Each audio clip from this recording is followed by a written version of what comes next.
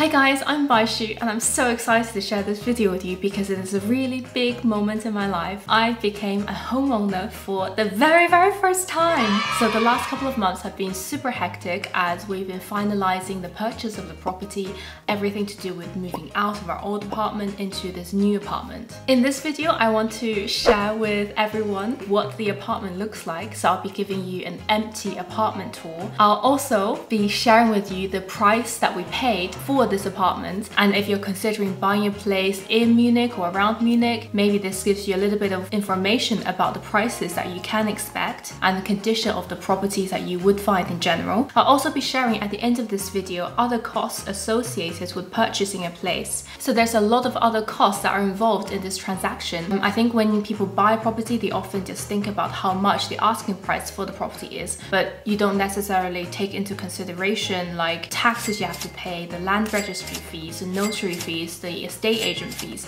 and these are not insignificant sums of money. I was a little bit naive in my search in the beginning, but now that I've gone through the process myself, I'm a little bit less naive and a lot more poorer, so I'll share those numbers with you too. So this property is on the top floor of a three level house. The house is split into five units. You have two units on the ground floor with gardens, two units on the first floor and one unit on the top. And this is where we are. On the top level, we have two living rooms, three bedrooms, one bathroom, one toilet, a small kitchen, three balconies, two outdoor parking spaces, one indoor parking space, and a room in the basement for storage. So the total surface area for this apartment is 220 square meters. However, because it is a top floor apartment with a lot of area under the roof, not all of it gets counted. So officially, this apartment is 129 square meters. So here is the empty apartment tour. Here we have the entryway with some shelves conveniently located behind the door so that I can turn it into a shoe cupboard in the future. This door leads to the first room in the flat, which is a small toilet. There's a lot of space under the roof which I'm hoping to convert into a laundry and storage space. And now, if you turn your eyes to the right, you'll see the main living room. I love this room. I love the high ceilings, I love the huge windows and doors which are southeast facing so it gets so so much light during the day and it opens up to the largest balcony in the apartment. So it's perfect for having some like barbecue and some grilling in the afternoons. There is also a fireplace at the other end of this room. Nice. Here I am saying goodbye to the yellow walls and radiators because they are not staying. On the left hand side of the fireplace is a small kitchen there's a glass door which I can pull out if I ever start cooking so I can keep the smells in and separate from the living room, which is really handy. You can see the house next door through the window, but they're quite far away so I don't really worry about them overlooking the apartment.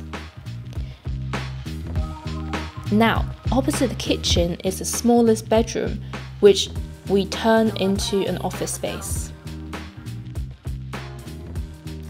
And now we go into the second living slash dining room. So the center of this room has a really high ceiling, but it slopes off towards the edges. So in this corner, there's a TV connection and we're planning to turn this into a really cozy TV corner with a super large cushy sofa that you can just like die on. On the other side, we're gonna put a big long dining table that can sit maybe six people. On this wall next to the dining table, we're planning to build a small kitchen, mostly for coffee and tea making, because like our existing kitchen is quite small and this will provide some extra storage as well. From this room, you can access another balcony and now on the other side of the apartment, this is where the bedrooms are. Here is a bedroom which we will make into a guest room slash second office because it has a low ceiling and not as much daylight as the other rooms. And here is the main bedroom. There are windows on both sides of the room, a really funky circular window which somehow I have to incorporate into the design, and a door that leads to the third balcony. Between these two doors are some built-in wardrobes which is very spacious but I don't really like the position of so we're going to remove remove that. Next to the bedroom is the bathroom. It has a large bathtub, a smallish shower, a toilet, a sink, and a mirror that is far too high for me. And now if I leave the apartment and take the stairs to go down, we come to the basement, which is like the perfect place for storing things you don't want but can't be bothered to sell and feel too guilty to throw away.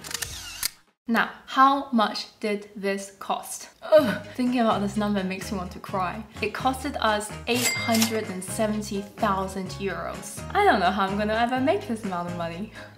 Anyway, there are a lot of other costs involved in the purchase of this property. So a rule of thumb, the transaction cost for buying a property in Bavaria is approximately 5.5% of the purchase price, excluding real estate agent commission. So for us, the notary fees were 8,000 euros. And in total, we paid the real estate agent 30,000 euros.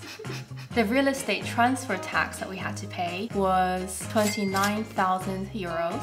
And on top of this, we paid 4,000 euros in land registry fees. Uh, I have to tell you, the moment that money left my bank account, I had a little breakdown inside.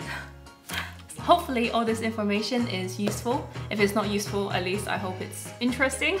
So thank you very much for watching this video. If you're interested to see how I end up refurbishing this place on a very limited budget, feel free to subscribe. And now I must leave you so I can do some work so I can make some money so I can pay off this mortgage. Bye!